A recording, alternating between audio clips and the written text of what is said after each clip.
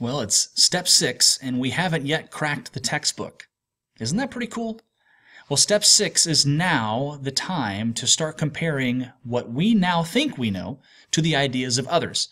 And not just pairs or groups in the classroom, this is where we compare our ideas to the ideas of the author of our textbook, or if you don't have a textbook, and that's fine, other printed sources.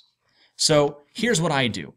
Uh, I will try to give them some key reading concepts to look for. You want to try to highlight some vocabulary words, but now that you have some ideas about the Earth's layers, here's a section of our textbook that I think you want to try to compare your ideas to. And so, how do they compare? Uh, read these couple pages, highlight the things you find important, because you know what? Reading text is just as important as writing text.